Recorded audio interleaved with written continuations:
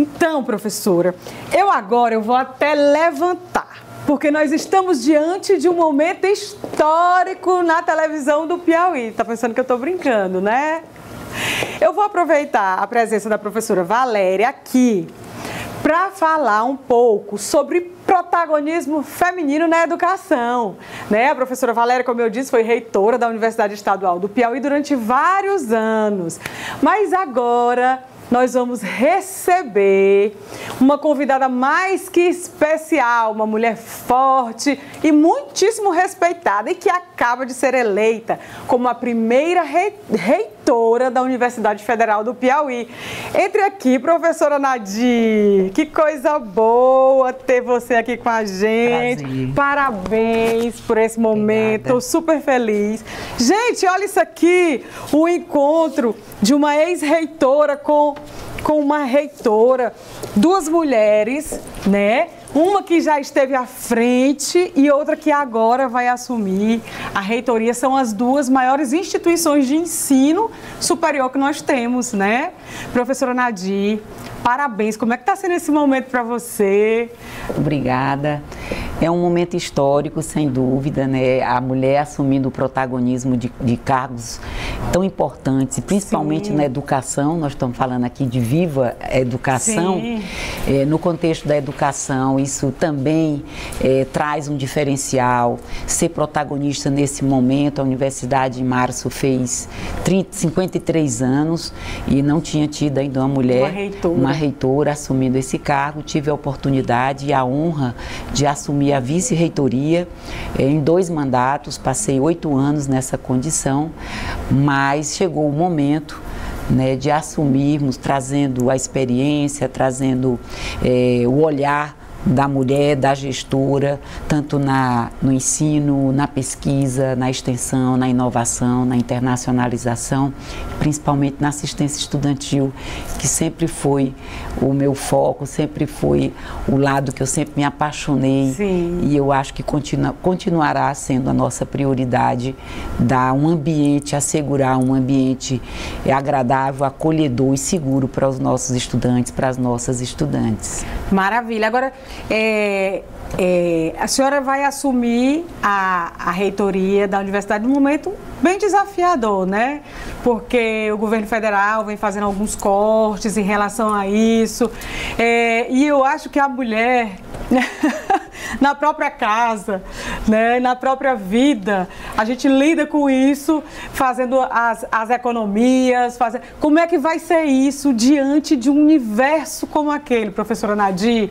Como é que vai ser gerir uma universidade daquele com a receita regradinha do jeito é, que está hoje?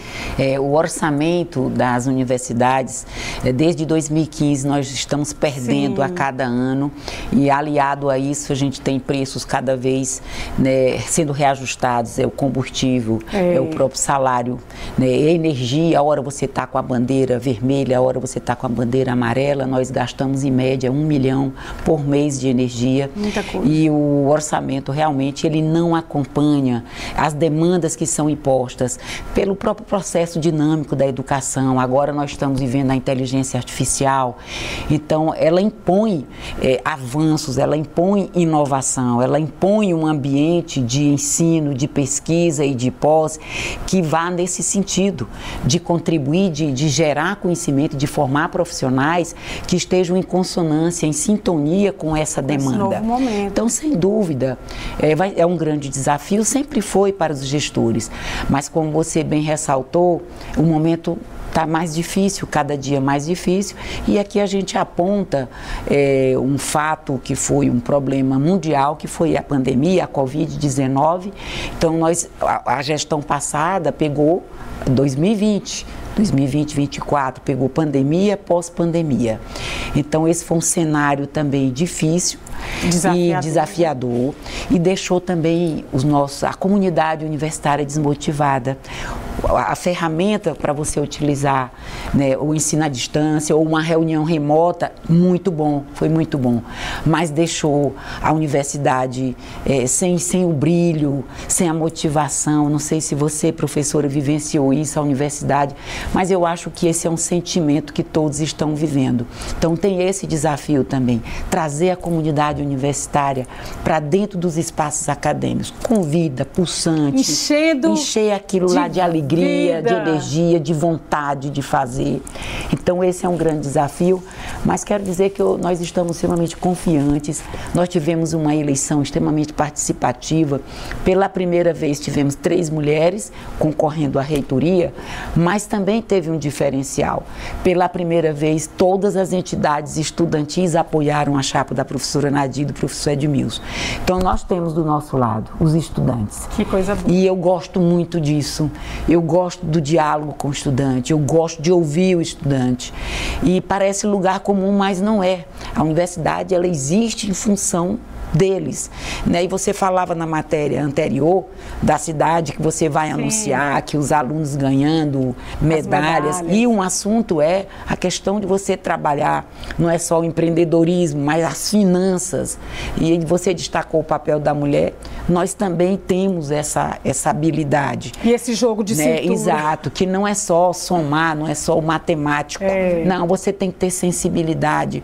E tem que ter um olhar também para estabelecer estabelecer prioridades, considerando que nós temos um orçamento limitado, como você apontou, e por isso, diante de tantas demandas, nós precisaremos ter aí sabedoria, muita cautela para estabelecer prioridades a curto, médio e longo prazos. Sem dúvida.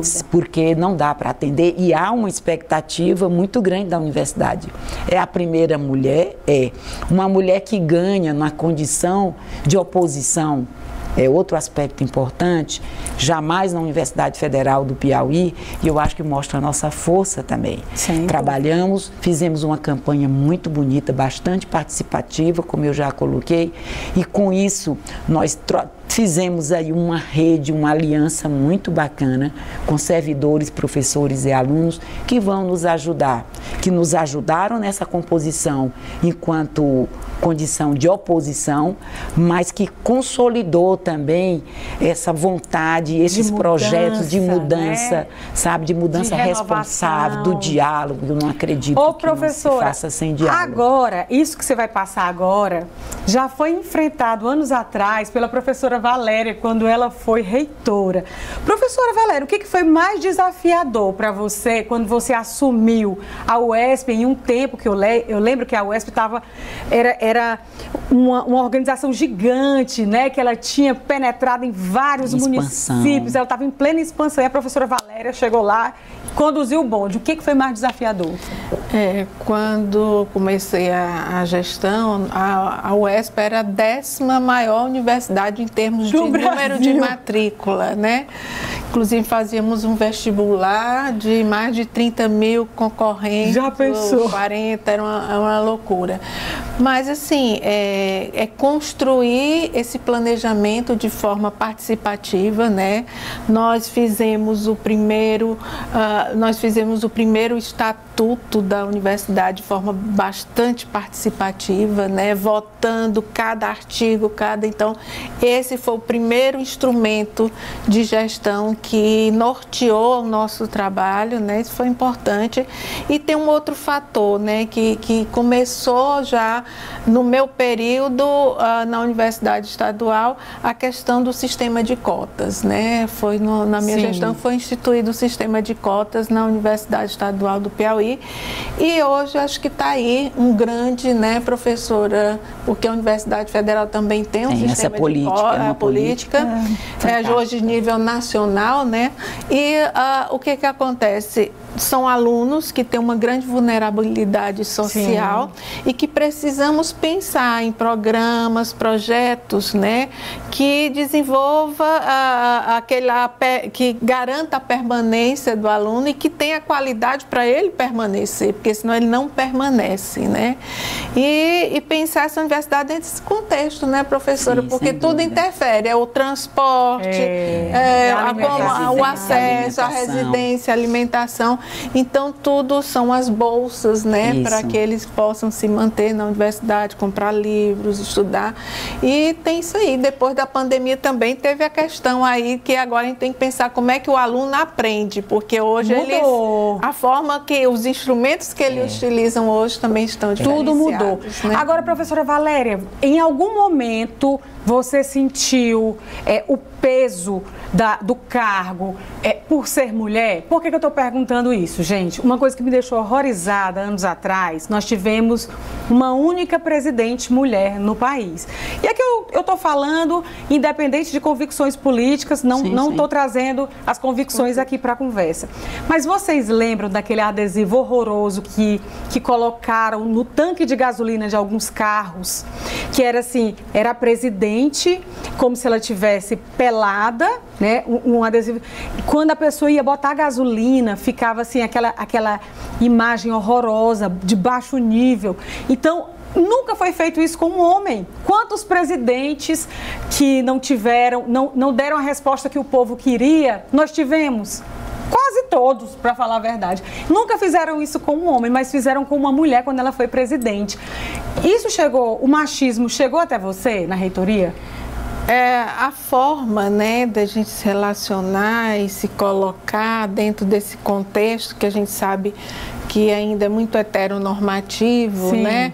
É, tem algumas situações que realmente se colocava, tipo como eu deveria me comportar, a entonação de voz, né? A forma como eu me colocava frente dentro da gestão e a própria forma também uh, de, de reivindicar. Eu Sim. acredito que elas eram mais assim, até mais é, numa forma até às vezes agressiva agressiva. Na tentativa de intimidar. Por uma ideia de quem estava lá era uma mulher, né? Então, assim, em alguns momentos isso aconteceu.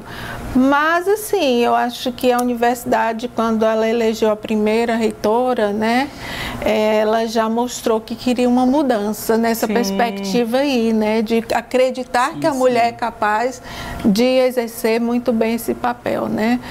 E assim, a gente trabalha no coletivo com homens, mulheres, né? E isso nos fortalece muito enquanto coletivo. Está preparada, professora Nadir, para enfrentar desafios como esse? Sem dúvida, quer dizer, nós estamos nesse processo de construção, a gente faz parte de uma sociedade, essa sociedade que é machista. Então, quando se coloca, às vezes, na universidade acontece isso, eu digo sempre, a universidade é um recorte da sociedade. E como ela é um ambiente de ensino, de educação, cabe a nós trabalharmos para desconstruir isso e a gente desconstrói, desculpa a voz, à medida que você chega à sua condição, a, a, a que eu estou chegando agora, né, mostrando a, a, capacidade da mulher em exercer esses cargos. A gente precisa lembrar, que eu acho interessante, sempre que se fala desse assunto, mais de 50% da população brasileira é constituída por mulheres, Sim. mais de 50% da, da, da, da comunidade universitária é constituída por mulheres. Então, nós precisamos desconstruir isso.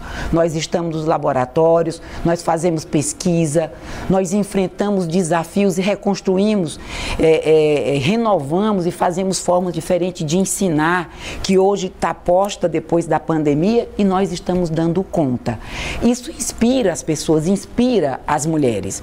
Se você olhar as ciências exatas, as tecnologias, as engenharias, é preciso que se trabalhe projetos para dizer que as meninas fazem ciência. Isso. Cabe academia fazer isso. Então, quando você me faz essa pergunta, eu tomo para mim também, é lógico, esse desafio dessa de trabalhar esse processo de desconstrução, né, de que podemos sim assumir cargos de poder, né, sem sermos submetidos a constrangimentos, a qualquer tipo de assédio. Diremos não a qualquer tipo de assédio.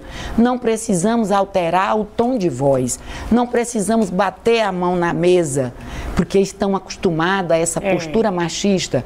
Não, nós estamos, nós estamos trazendo uma proposta do diálogo, da conversa, da escuta, de trazer o coletivo numa construção que se pense no bem comum. Então, eu, particularmente, como tive a oportunidade de estar oito anos na condição de vice-reitora. E essa foi a nossa postura e tive esse respeito e eu acho que esse respeito é, não é o que a professora acha, mas ela se concretizou nas urnas quando a comunidade universitária disse sim à professora Nadir. Então é porque reconhece que essa mulher vai ter e terá condições né, de assumir a UFP, a maior instituição de ensino, um dos maiores patrimônios que o estado do Piauí tem. Olha, gente, vocês estão vendo? Isso aqui é o poder. Agora, o feminino, essas mulheres, vocês estão vendo empoderadas, são mulheres femininas também, são mulheres que eu tenho certeza né, que vão gostar do presente que a gente vai dar para elas. Nossa, tem. Vocês merecem demais. Flores. Minhas queridas, podem levantar um para cada e ao mesmo Eita, tempo. Coisa boa. Essa é a nossa homenagem do A gente Viva agradece. Para vocês muito. que merecem muito pelo trabalho que vem desenvolvendo né, em prol da educação do Piauí. Né? Professora Valéria, como eu falei, é do meu tempo de UESP. Eu sou da primeira turma de jornalismo da UESP. Será que eu assinei teu diploma? Eu acho que assinou, professora. Meu diploma é assinado por você. e eu fico muito feliz com a presença de vocês, né? E em poder usá-las como inspiração para tantas outras que estão assistindo agora neste momento. Obrigada. Eu quero compartilhar essas rosas com todas as mulheres, as mulheres que estão no cotidiano, as mulheres que estão batalhando as mulheres que assumem casa, pet. Eu também sou mãe de pet, viu, gente? Então eu sou mãe, fui esposa, né? Sou filha, minha mãe tem 93 anos, que mas eu quero dar esse exemplo aqui e a professora Valéria também, né, de que nós podemos a todas as mulheres que lutam os desafios de todos os dias e que ocupam os espaços onde elas devem estar. Parabéns, gente. Muito, Muito obrigada, obrigada pela presença.